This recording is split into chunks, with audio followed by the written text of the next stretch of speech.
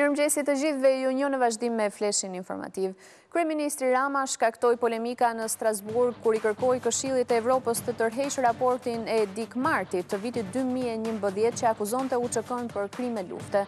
Rama e quajti këtë si gabimin më të pafalshëm historik ndaj një kombi në kërkim të lirisë. Ndërsa anëtarët e Asamblesë të Këshillit të Evropës thanë se u ndien të provokuar nga këto deklarata pa takt.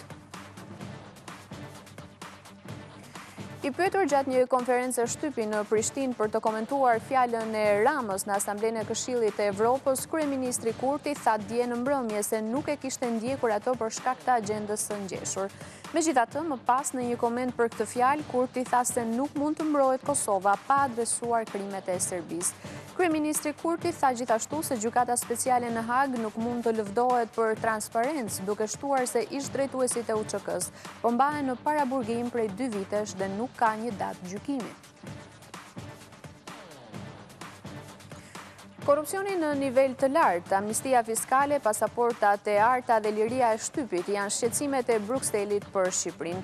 Në progres-raportin vjetor të Komisionit Evropian, sektori më i prirur për përhapjen e korrupsionit në vend është ai i prokurimit publik. Për forcimin e demokracisë në vend, Shqipërisë i kërkohet të ketë më shumë bashkëpunim me opozitën dhe shoqërinë civile. Në dokument është pasqyruar dhe shqetësimi i ngritur nga ndërkombëtarët për amnistinë fiskale në të cilën për të cilin qeveria këmbëngul që ta miratojë. Hapjen e negociatave me vendin tonë, Eurokomisioneri Varhelyi e konsideron historike. Ilir dhe Kenado Shira, babë e bir, u vranë dje në Klos të Matit nga një 39-vjeçar, i cili më pas vrau dhe veten. Adoleshenti kishte ngacmuar vajzën 16-vjeçare të autorit të krimit, Fiqiri Mjeshtri. Kjo provokoi më pas edhe konfliktin mes familjeve, ku mbetën të plagosur edhe dy persona të tjerë.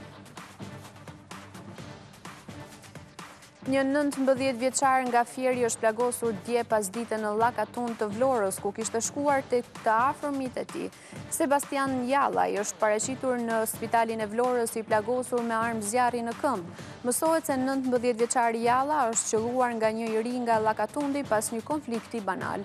Policia po kërkon autorin e plagosjes. Policia e shtetit ende nuk ka një përfundim nëse Ervis Martinaj është vrarë apo është zhdukur. Drejtori Muhamet Rrumbullaku deklaroi për mediat se hetimet vijojnë, por nuk dha sqarime të mëtejshme. Forcat speciale kryen kontrole në Vlorë pasi dyshohet se nga ky qytet ai humbi kontaktet. Prokuroria e posaçme kërkon dënimin me 10 vite burg për iranianin e akuzuar për terrorizëm, Bijan Polandrag.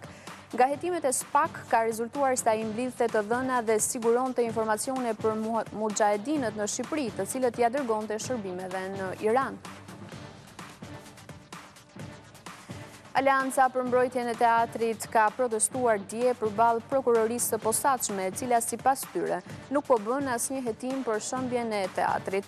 Protesta zgjati më shumë se një orë, ndërsa përfaqësuesit e aleancës kërkuan mbështetjen e qytetarëve. Një çift bashkëshortësh nga Saranda janë arrestuar nga policia pasi akuzohen për kontrabandë të medikamenteve. Sipas policisë, Kristo dhe Aleksandra Anxheli i tregtonin këto ilaçe në farmacinë e tyre. Gjatë kontrollit në banesën e tyre, uniformat blu gjetën dhe sekuestruan 1287 lloje ilaçesh me vlerë rreth 70.000 euro. Ju njohëm me disa nga zhvillimet kryesore deri në këto momente. Për më shumë lajme, ju mjafton të klikoni në abcnews.al.